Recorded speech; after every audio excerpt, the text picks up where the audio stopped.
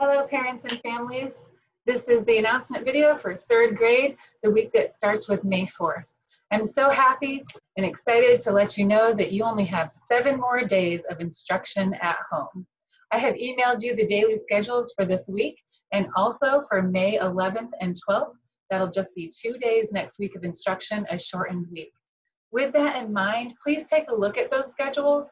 There are some things that we're not going to get to finish next week, and that is okay. But I gave some challenges for those of you who I know some of your children might want to finish out the end of the Heritage Studies book, which ends with President Barack Obama and President Donald Trump. Also, the health and the final math test. They will receive all the instruction for decimals. All right, so this week's Zoom meeting, today, Monday, we will have a Zoom meeting 11 o'clock covering English. We'll go over the Uh, coronavirus journal entry for the day and the keeping up lesson. On Wednesday 11 o'clock, we'll have a math lesson. Hopefully Wi-Fi will be working well at the school for me that day. And we will have our last one-on-one -on -one reading sessions this week, Thursday and Friday.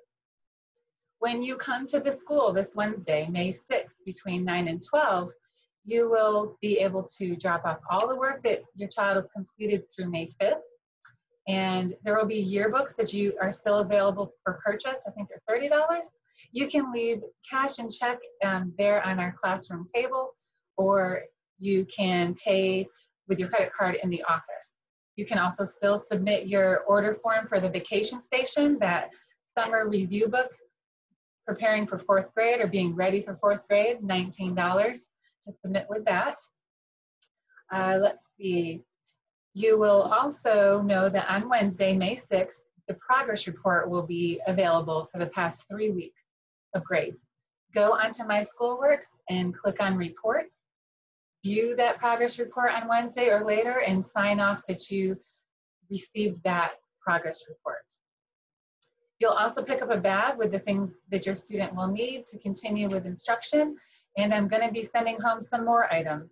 They're 3D shapes, they're Black History Month folder, Spanish folder, and music folder. I might find some other things that I'll go ahead and send home this week so there's not so much for you to pick up the following week.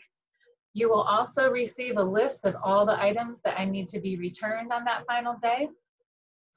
And last thing, I just want to share a video with you of what you will see for math this week.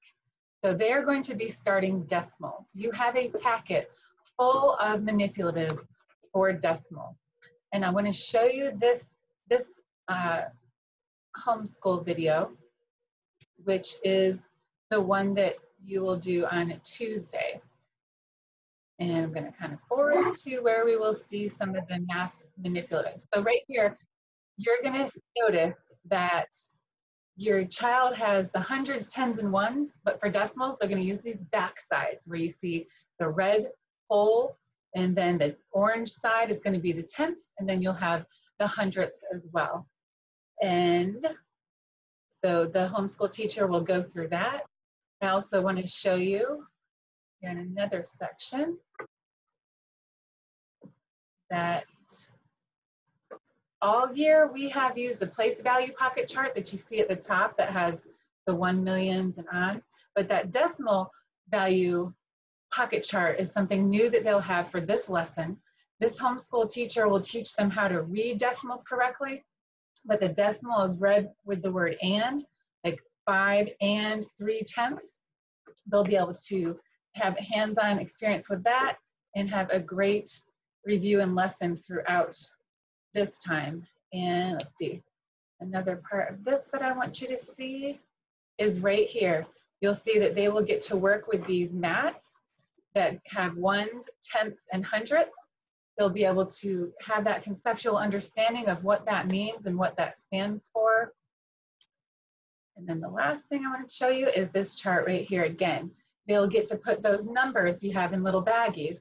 They'll get to build their decimals and really understand how to say this one and two tenths and how to write it and how to build it. So I just wanted to allow you to take a look at that real quick so you can be ready to, to help your child and I hope you're taking advantage of those. Well, this is wonderful. I am so excited for this week. Please know that by the end, by May 12th, your child's going to have completed spelling, English, reading, math. Now, they're going to receive all the math lessons.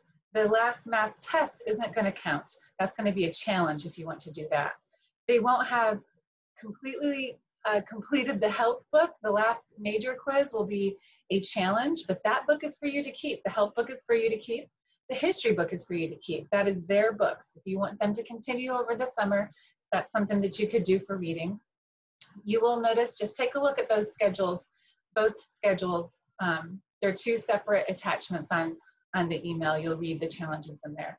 All right, well, God bless you. I hope that you are um, feeling strengthened and encouraged to start this this week like a race that you're going to run, and I hope that you will finish well with your child. Please let me know at any time if you're frustrated, you have any questions. I'm here to help you, and I can't wait to see everybody on Zoom. Have a great day and a great week.